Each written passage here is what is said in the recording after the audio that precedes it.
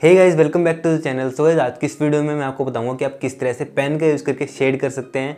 मैंने लास्ट मेरा जो स्केच ड्रॉ किया था एक, उसमें मैंने ओनली पेन का यूज़ करके जो आइंस्टाइन वाला स्केच ड्रॉ किया था तो मोस्टली उसमें सभी बोल रहे थे कि आपने किस तरह से इसमें शेड किया, किस तरह से रियलिस्टिक शेड किया। तो इस पर ट्यूटोरियल बनाओ। तो इस वीडियो में मैं बताऊँगा कि इस तरह से हम लाइट टू डार्क पेन का यूज़ करके काफ़ी अच्छे से कोई भी पोर्ट्रेट को ड्रॉ कर सकते हो ओनली एक ही पेन का यूज़ करके। तो चलिए स्टार्ट करते हैं। सबसे पहली चीज़ जो कि हमको समझनी पड़ेगी वो ये है कि हम, मान लो पेन पेन जब हम पेंसिल का यूज़ करते हैं, तब हम पेंसिल में हमारे पास ग्रेड्स होती हैं, जैसे कि H B, two B, four B, eight B, ten B, जैसे कि लाइट टू डार्क ग्रेड होती है।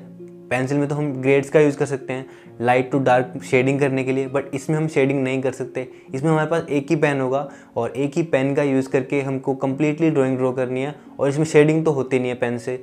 पेंसिल को हम इस तरह से पकड़ के, इस तरह से शेडिंग कर सकते हैं बट इसमें नहीं कर सकते। इसमें हमको यूज़ करना पड़ेगा हैचिंग मेथड जिस पर जिसके बारे में मैंने पहली वीडियो बना के आपको बता रखा है। बाकी इस वीडियो में बताऊँगा आपको अच्छे से किस तरह से हमको हैचिंग का यूज़ करना है पेन का यूज़ करने के लिए। तो पेन पेन से ड्रॉइंग बनाने के लिए। तो सबसे पहले मैं आपको बताऊँ कि हैचिंग का यूज़ करना पड़ेगा आपको। आप क्रॉस हैचिंग हो हैचिंग का भी यूज़ कर सकते हैं, या फिर ओनली एक ही टाइप की हैचिंग का भी यूज़ कर सकते हैं, एक ही डायरेक्शन में। जो मैंने आपको बताया था मेरी शेडिंग वाली वीडियो में तो आप क्रॉस हैचिंग का भी यूज़ कर सकते हैं। मोस्टली क्रॉस हैचिंग का यूज़ होता है इसमें, और क्रॉस हैचिंग से हम काफ़ी रियलिस्टिक और काफ़ी अच्छे से ड्रॉ कर पाएँगे आप। तो चलिए अब देखते हैं।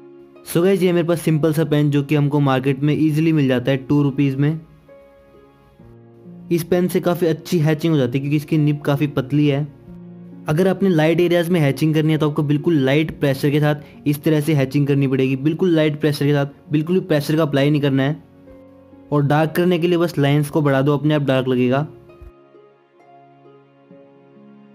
क्रॉस हैचिंग करने के लिए इसके अपोजिट डायरेक्शन में भी हम लाइन्स लगा सकते हैं। अगर पेन से आपको शेडिंग करनी है पेन से कोई भी पोर्ट्रेट ड्रॉ करना है तो आपको इस मेथड का यूज़ करना पड़ेगा। इससे ही आप काफ़ी अच्छी शेडिंग कर पाएँगे, क्योंकि पेन से शेडिंग तो होती नहीं है तो आपको हैचिंग करनी पड़ेगी, बिल्कुल लाइट प्रेशर का यूज़ करके, बिल्कुल स्लोली स्लोली बाकी आप अच्छे ब्रांड के पेन्स का भी यूज़ कर सकते हैं, जो कि स्पेशली पेन ड्राइंग बनाने के लिए यूज़ होते हैं। स्टैडर के फेबर कैस्टल के आते हैं तो आप उनका यूज़ कर सकते हैं। सो इसी तरह से हैचिंग करके हमको कंप्लीट ड्राइंग ड्रॉ करनी है, और अगर डार्क एरिया है बिल्कुल तो थोड़े प्रेशर का अप्लाई करके इस तरह की लाइंस लगा सकते हैं। अगर डार्क एरियाज़ है, तभी अगर फेस में शेडिंग कर रहे हैं लाइट टू डार्क शेडिंग कर रहे हैं तो आपको लाइट प्रेशर का यूज़ करके हैचिंग करनी है। और अगर आपने इसमें हाईलाइट करनी है, कोई भी वाइट एरियाज़ है, उसको इरेज तो कर नहीं सकते। उसके लिए हमको वाइट जेल पेन का यूज़ करना पड़ेगा।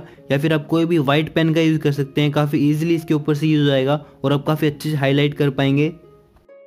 बस इसी तरह से हमने शेडिंग करनी है हैचिंग का यूज़ करके, इसी तरह से हमको कंप्लीट पोर्ट्रेट ड्रॉ कर सकते हैं। मैं भी आपको थोड़ा सा ड्रॉ करके दिखाता हूँ आइज़ और नोज़ ड्रॉ करके दिखाता हूँ। पहले आप आउटलाइन ड्रॉ कर लोगे तो ज़्यादा सही रहेगा। मैंने आइंस्टाइन वाले में सीधा ड्रॉ किया था, मैं ट्राई कर रहा था और काफ़ी अच्छे से एक बारी में ड्रॉ हो गया था। बट अगर आप पहले पेंसिल का यूज़ करके काफ़ी अच्छे से आउटलाइंस को ड्रॉ कर लो, बिल्कुल लाइट पेंसिल का यूज़ करके, उसके बाद ऊपर से पेन का यूज़ करो तो ज़्यादा सही रहेगा।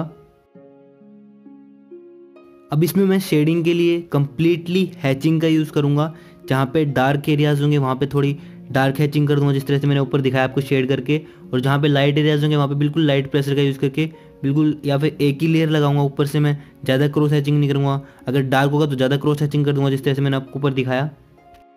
कोई ज़्यादा मुश्किल मेथड नहीं है, बस आपके अंदर पेशेंस होना चाहिए, क्योंकि इसमें टाइम बहुत लगता है, और ऑब्जर्वेशन अपने फोटोग्राफ को ऑब्ज़र्व करना आना चाहिए, कि कहाँ पे कितना डार्क है, कहाँ पे कितना लाइट है, उसके अकॉर्डिंग आपने हैचिंग करनी आनी चाहिए।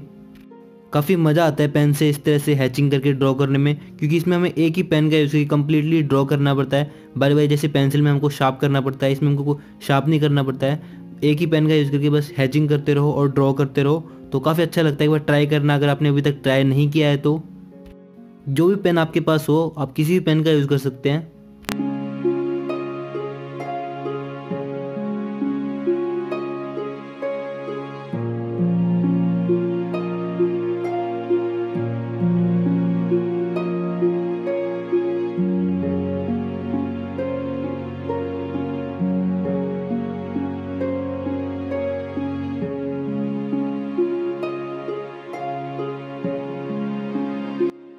सो so जी कुछ इस तरह से हैचिंग करके हम किसी भी फेस को ड्रॉ कर सकते हैं। इसी तरह से आपने बिल्कुल लाइटली हैचिंग करनी है जहाँ पे लाइट एरियाज़ होंगे वहाँ पे आपने लाइट हैचिंग करनी है। जिस तरह से आप फेस पे देख सकते हैं मैंने बिल्कुल लाइट हैचिंग की है और जहाँ पे डार्क एरियाज़ हैं आइज़ के पास वाले नो, नोज़ के पास वाले जहाँ पे डार्क हैं वहाँ पे बस डार्क हैचिंग की है। आइंस्टाइन वाले स्केच में मैंने इस पेन का भी यूज़ किया था जो कि सैलो का है। ये मार्केट में इजीली मिल जाएगा आपको। फाइव रुपीज़ का मिल जाता है ये। और इसकी निब भी काफ़ी पतली है और काफ़ी अच्छी इससे हैचिंग होती है। सो ये जो स्केच है, आप देख सकते हैं, इसमें कंप्लीट हैचिंग का यूज़ किया हुआ है मैंने। और ये देखो, आपको लाइन दिख रही होंगी इसमें कम्प्लीटली तो कम्प्लीटली लाइन का यूज़ करके ही मैंने इसको ड्रॉ किया है। सो so आप इस तरह से किसी भी बॉल पेन का यूज़ करके काफ़ी अच्छे से पोर्ट्रेट को ड्रॉ कर सकते हैं। बस जैसे कि मैंने आपको बताया, बिल्कुल लाइटली आपने हैचिंग करनी है। कोई भी आपके पास पेन हो, उसकी जो नीब है वो अगर पतली होगी तो और भी ज़्यादा अच्छे से आप बिल्कुल पतली पतली लाइंस की हैचिंग कर पाओगे, जो कि काफ़ी ज़्यादा रियलिस्टिक भी लगेगी। और अगर मोटी होगी तो ज़्यादा अच्छा नहीं लगेगा, जैसे कि मैंने आपको बताया। अगर पतली होगी तो अच्छे से आप काफ़ी अच्छी हैचिंग कर पाओगे। तो आई होप आपको ये डाउट क्लियर हो गया होगा। इसके लिए आपकी आपकी नॉलेज होनी चाहिए शेडिंग की, आपको डार्क एरियाज़ लाइट एरियाज़ और जैसे कि मैं आपको बताता हूँ, आपको हाईलाइट की नॉलेज होनी चाहिए, जहाँ पे हाईलाइट हो वहाँ पे कम हैचिंग करो। तो इस तरह से अपने पेन का यूज़ करना है। सिंपली कोई ज़्यादा मुश्किल नहीं है और आपको बर्बरिश जैसे पेंसिल में तो शार्प करना पड़ता है बट इसमें आपको एक ही पेन का यूज़ करके काफ़ी अच्छे से ड्रॉ करना पड़ेगा। सो गाइज़ आई होप आपका सारा डाउट क्लियर हो गया होगा। मैं और भी वीडियोस बनाऊँगा किस तरह से हमको, हम पेन का यूज़ करके कंप्लीट पोर्ट्रेट को ड्रॉ कर सकते हैं कंप्लीट भी ड्रॉ करके दिखाऊँगा और फीचर्स भी ड्रॉ करके दिखाऊँगा। सो गाइज़ इस वीडियो में इतना ही। I hope you enjoy this video will in my next video do practice do improve take care and thank you so much for watching